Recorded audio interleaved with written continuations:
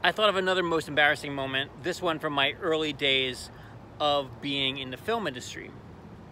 I was so excited. I was a grip in charge of safety at the time.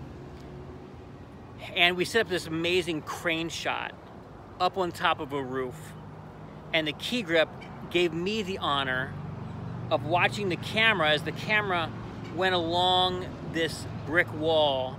And it was on the end of a crane, so it was like, you know, 30 feet away from the camera operator, the crane operator. And it was my job to just watch and make sure that it didn't scrape up against the brick wall.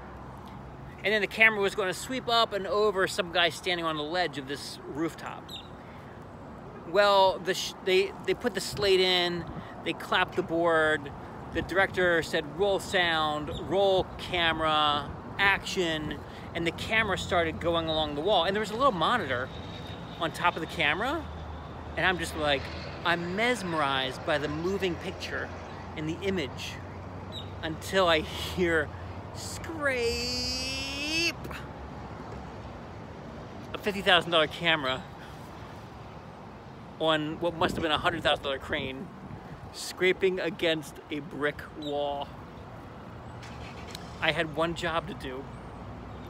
The key grip came up to me and he said, for the next one, you walk back there, I'll stand here.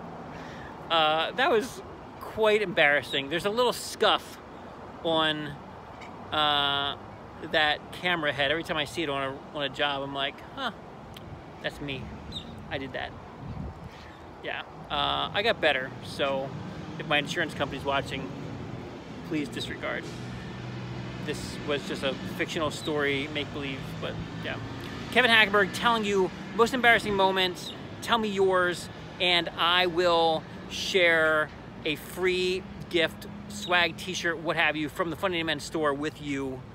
And now I gotta go back to delivering some uh, products of a feminine nature in my smart car. That's not embarrassing. Amen.